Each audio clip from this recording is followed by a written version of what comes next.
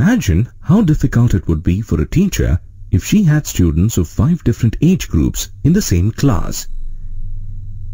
Trying to teach different subjects and handle different levels of complexity for each student would result in a lot of confusion. Students in a school are allocated to classes based on the age group they belong to. It is because students in a class are likely to have similar attributes in terms of the level of knowledge, capabilities, height and weight. Similarly, there are over a hundred elements known to us. Scientists felt the need to classify them on the basis of some common properties. In this lesson, we will learn how the attempts to classify elements led to the evolution of the periodic classification of elements. At the end of this lesson, you will be able to examine early attempts at classification, analyze Dobereiner's law of triads, and Newland's law of octaves. Compare the merits and demerits of the law of triads and the law of octaves. List the main features of Mendeleev's periodic table. And analyze the merits and demerits of Mendeleev's periodic table. The earliest classification categorized elements into metals and non-metals.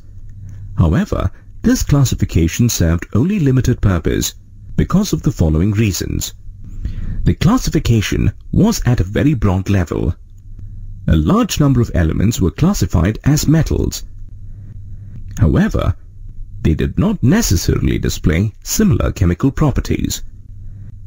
For example, sodium and copper were both characterized as metals, but their chemical properties are very different. Some elements such as boron exhibited the properties of both metals as well as non-metals. It was difficult to determine how to classify such elements. After further research, a German scientist, Dobereiner, arrived at a hypothesis in the year 1829. According to Dobereiner, all elements occurred in groups of three when arranged in increasing order of atomic masses. He referred to these groups as triads. Dobereiner's law of triads states that the atomic mass of the middle element of a triad is the arithmetic mean of the atomic masses of the other two elements. To illustrate this law, consider the triad of lithium, sodium and potassium. The atomic mass of lithium is 7, the atomic mass of sodium is 23, and the atomic mass of potassium is 39. The arithmetic mean of the atomic masses of lithium and potassium is 23. This is equal to the atomic mass of sodium. Similarly, in the triad of chlorine, bromine and iodine, the arithmetic mean of the atomic masses of chlorine and iodine is approximately equal to the atomic mass of bromine. While this law worked for some elements, it was not a success because all the known elements could not be arranged in the form of triads. The law did not hold good for elements with very low or very high atomic mass. For example, the arithmetic mean of the atomic masses of fluorine, 19, and bromine, 80, which comes to 49.5, varies significantly from the atomic mass of chlorine, which is 35.5. Since Dobereiner's law could not successfully group elements, the attempts at classification continued. The next attempt came in 1864 when an English chemist, John Newlands, stated his observations in the form of Newland's law of octaves. Newlands noted that when elements are arranged in increasing order of their atomic weights, the property of every eighth element is similar to that of the first element, similar to the first and the eighth notes in the musical scale. Consider the list of elements with their atomic weights in increasing order. Starting with lithium, the eighth element from lithium is sodium. Similarly, the eighth element from sodium is potassium. Lithium, sodium and potassium show similar properties. For example, they are metallic in nature, have high reactivity and conduct heat and electricity. Similarly, beryllium, magnesium and calcium show similar properties. For instance, all the three elements are shiny and fairly soft. However, Newland's law of octaves failed because it was not valid for elements of atomic masses higher than calcium. Newly discovered elements could not find a place in Newland's table. Mendeleev based his work on the research by Newlands and took it further.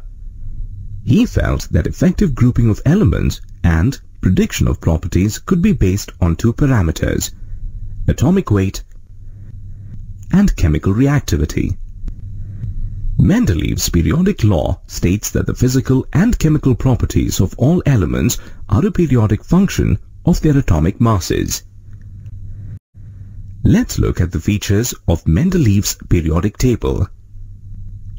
The table had eight vertical columns called groups and 12 horizontal rows called periods. In every group, a gradation of physical and chemical properties of elements was observed. The table provided gaps for undiscovered elements. The table helped predict the properties of three elements. These elements were named Eka, boron, Eka, aluminium, and Eka, silicon. When these elements were discovered, they were named scandium, gallium, and germanium. The properties of these elements were very close to those predicted by Mendeleev. Like other attempts at classification of elements, Mendeleev's periodic table also had some merits and demerits. Let's take a look at the merits first. The table helped in the correction of atomic mass for many elements. It predicted the existence of some elements that had not been discovered at the time that the table was created. Because of its merits, the periodic table is widely accepted as a system of classification. However, it did not achieve complete success because of some demerits. The table had some inaccuracies. For example, the table reversed the atomic weights of two pairs of elements. A. Iodine with atomic weight 127 came after tellurium with atomic weight 128. B. Nickel with atomic weight is 58.68 came after cobalt whose atomic weight is 58.94. Alkali metals such as sodium and potassium and coinage metals such as copper silver, and gold were placed in the same group, even though their properties are significantly different. Lanthanides and actinides were not given proper place in the periodic table. Isotopes did not find a place in the periodic table. The table did not clearly indicate the position of hydrogen. H. J. Moseley, an English physicist, built further on the periodic table to resolve the problems encountered in using it. He discovered that atomic number is a better basis for classifying elements than atomic weight. On the basis of his work, he developed the modern periodic law.